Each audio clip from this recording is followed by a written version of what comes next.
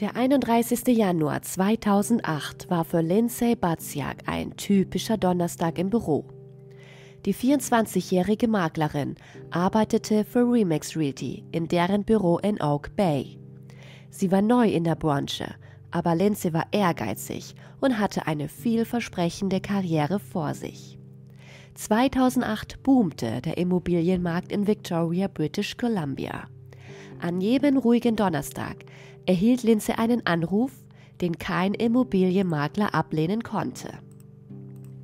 Ein potenzieller Kunde rief auf ihren Mobiltelefon an und fragte nach einer Luxusimmobilie. Ein Ehepaar wollte noch vor diesem Wochenende ein Haus kaufen und hatte ein Budget von eine Million Dollar. Lindsay willigte ein, dem Paar zu helfen, aber sie hatte Bedenken, die Kunden zu übernehmen.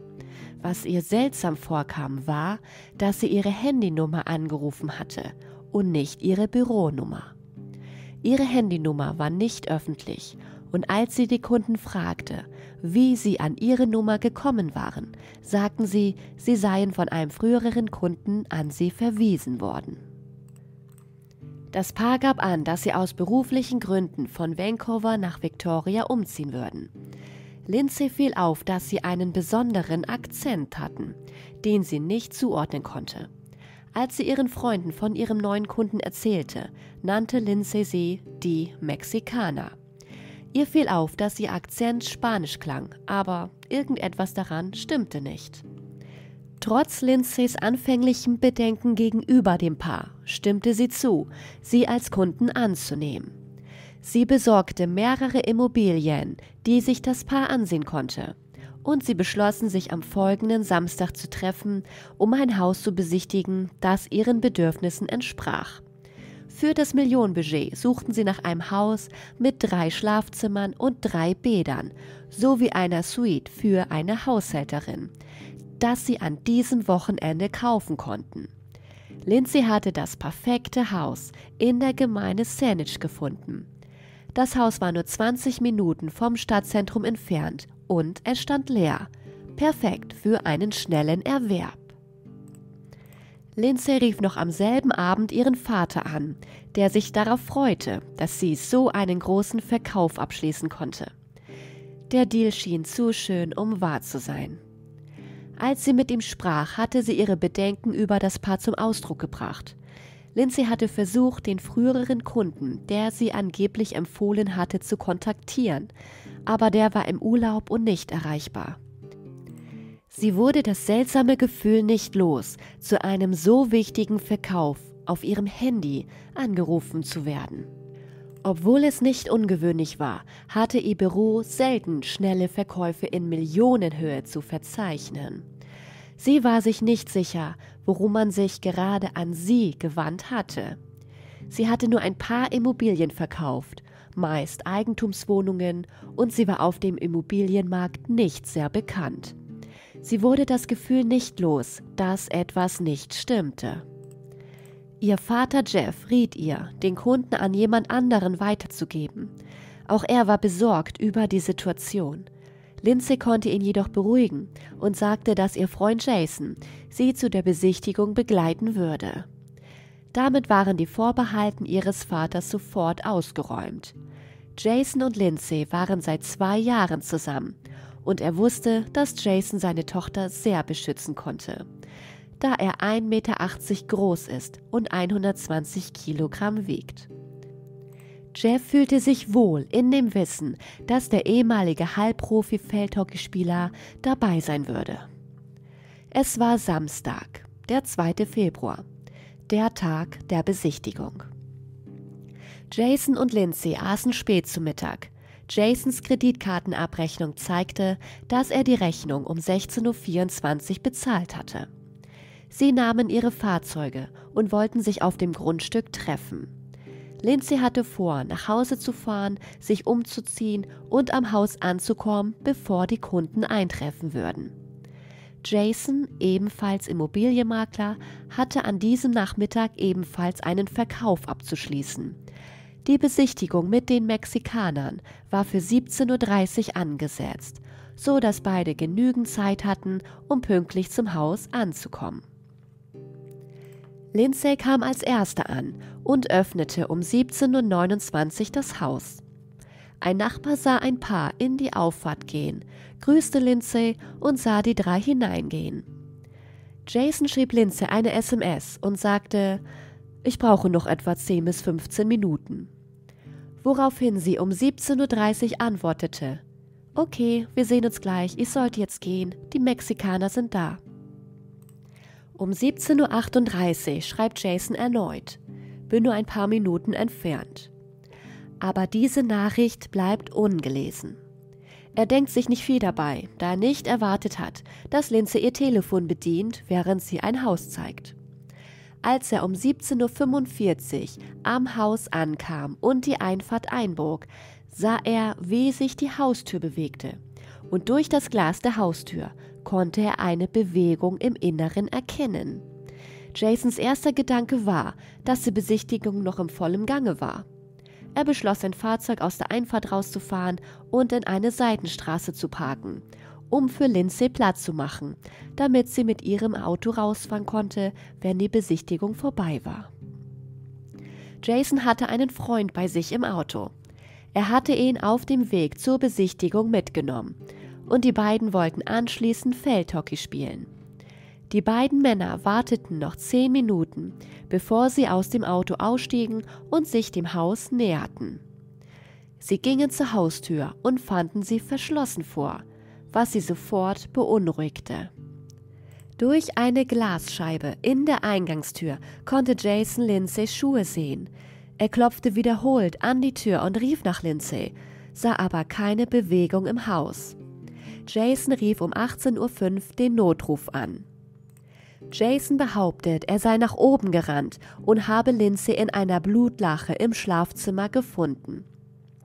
Im gesamten Obergeschoss des Hauses waren blutige Fußabdrücke zu sehen, aber keine Anzeichen von anderen Personen. Jason versuchte eine Herz-Lungen-Wiederbelebung durchzuführen, während sein Freund sich nach dem Angreifer umsah. Als die Polizei um 18.11 Uhr eintraf, sah sie, wie Jasons Freund aus einem Fenster im Obergeschoss um Hilfe winkte. Lindsay war von hinten angegriffen worden und hatte keine Abwehrwunden am Körper. Anhand der in der Wohnung gefundenen Spuren konnten die Beamten das Geschehen in der Wohnung rekonstruieren. Es heißt, sie habe die Wohnung um 17.29 Uhr aufgeschlossen, wobei die Zeugenaussagen und die Textnachrichten bestätigen, dass die Verdächtigen um 17.30 Uhr eintrafen und das Haus betraten. Lindsay hatte den gesamten ersten Stock des Hauses gezeigt und war nach oben gegangen, um das Hauptschlafzimmer mit eigenem Bad zu zeigen. Sie drehte sich um, um die Badezimmertür zu öffnen, und die Polizei glaubt, dass dies der Punkt war, an dem sie angegriffen wurde. Ihr Körper lag zur Hälfte im Badezimmer und zur Hälfte im Schlafzimmer. Der Angriff selbst war schnell und gewalttätig gewesen. Sie erlitt mehrere Stichwunden, wobei die Polizei die genauen Einzelheiten der Tötung noch nicht bekannt gegeben hat. Als die Sanitäter eintrafen, stellten sie fest, dass Lindsay bereits verstorben war. Jason und sein Freund wurden sofort verhaftet und als Verdächtige in Gewahrsam genommen, später aber wieder freigelassen.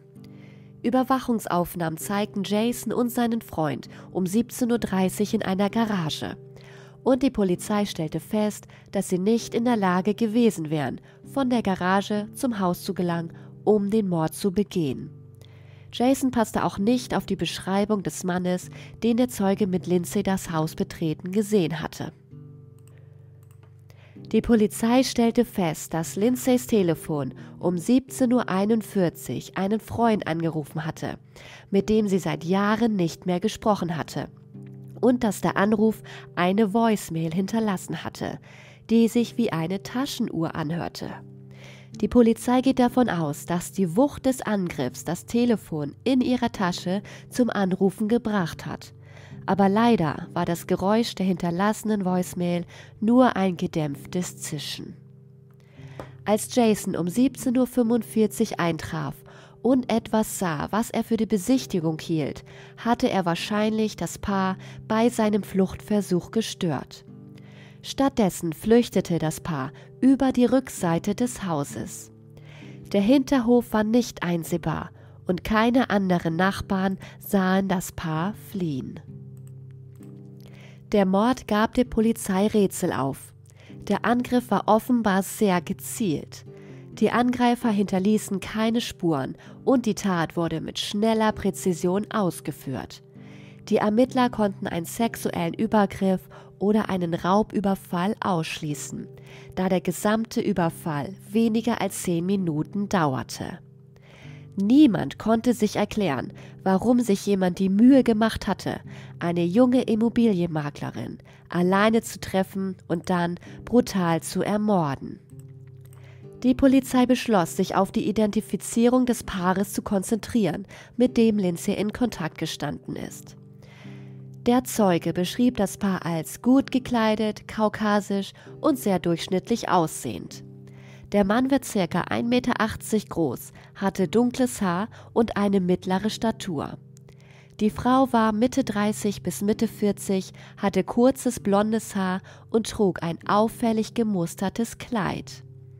Die Polizei hatte gehofft, dass das Kleid von einem Luxusdesigner entworfen worden war und sie die Frau anhand dieses Musters identifizieren konnten aber es handelte sich um ein Kleid, das von einem beliebten Einzelhändler verkauft wurde, der Tausende von Exemplaren in ganz Kanada herstellte. Das Telefon, das das Paar zur Kommunikation mit Lindsay benutzt hatte, war mit Sicherheit ein Wegwerfhandy. Das Telefon war mehrere Monate vor dem Mord gekauft worden, aber erst wenige Tage vor dem ersten Kontakt mit Lindsay aktiviert und unter einem falschen Namen registriert worden. Das Telefon wurde auch nur für die Kommunikation mit Lindsay benutzt und nach dem Mord wurde das Telefon nie wieder benutzt. Aufgrund des Mangels an Beweisen am Tatort, der Effizienz der Planung und der sorgfältigen Ausführung des Mordes ging die Polizei dem Gedanken nach, dass das Paar möglicherweise dafür bezahlt wurde, Lindsay Baziak gezielt zu ermorden. Die Polizei hatte einfach keine Ahnung, warum. Nichts deutete darauf hin, dass Lindsay in etwas Kriminelles verwickelt war oder dass jemand in ihrem Leben das Gefühl hatte, sie habe sich Feinde gemacht. Sechs Wochen vor dem Mord war Lindsay nach Calgary, Alberta gefahren, um ihren Vater zu besuchen. Dort teilte sie ihrem Vater mit, dass sie mit der Beziehung zu Jason nicht zufrieden sei und die Beziehung beenden wolle. Sie verriet, dass sie und Jason derzeit an mehreren Geschäftsabschlüssen arbeiteten und sie diese abschließen wollte bevor sie mit Jason redet. Sie sagte, dass es ihr nicht gefiel, wie besitzergreifend und eifersüchtig Jason geworden war, aber sie hatte zu keinem Zeitpunkt Angst vor Jason. Die polizeiliche Theorie besagt, dass es ein paar Tage nachdem Lindsay Calgary verlassen hatte, dort zu einer massiven Drogenrazzia kam. Die Polizei verhaftete zwölf Personen aus Calgary und zwei aus British Columbia und beschuldigten sie, Kokain im Wert von über 2 Millionen Dollar und Bargeld im Wert von über 200.000 Dollar im Rahmen eines großen Drogenhandels beschlagnahmt zu haben. Die Ermittlungen hatten sich über ein Jahr hingezogen, beruhten aber auf einen Hinweis von jemandem, der an der Operation beteiligt war. Die Polizei geht davon aus, dass Personen, die mit dieser Drogenratze in Verbindung standen, Lindsay fälschlicherweise als Informanten identifizierten. Obwohl es keine Beweise gibt, die Lindsay direkt mit kriminellen Aktivitäten in Verbindung bringen, war sie offenbar mit Personen befreundet, die dafür in Frage kommen. Die Ermittlungen sind noch nicht abgeschlossen und die Polizei hat sich nicht dazu geäußert, was der Grund für Lindsays Ermordung gewesen sein könnte. Die Polizei hat zwar eingeräumt, dass es einen Zusammenhang geben könnte, aber bisher wurden noch keine Festnahmen vorgenommen.